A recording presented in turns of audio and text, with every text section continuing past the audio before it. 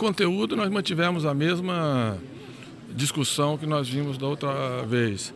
Na forma, como as pessoas falam que eu tenho um semblante muito sério, que eu sou muito sério, eu preciso ser mais solto, mais leve. Eu acho que isso ajuda a dialogar. Mas tirando isso, no conteúdo é a mesma discussão porque os problemas são exatamente os mesmos e eles continuam dizendo que não tem problema na educação, na saúde, na segurança e criando novamente promessas para o futuro de coisas que eles já não fizeram e, na minha visão, eh, não tem compromisso para fazer naquilo que é verdadeiramente os interesses mais importantes da população mais pobre desse Estado. Essa é a diferença de governo Lula e essa é a diferença do que nós faremos em São Paulo. E acho que isso vai ficando claro.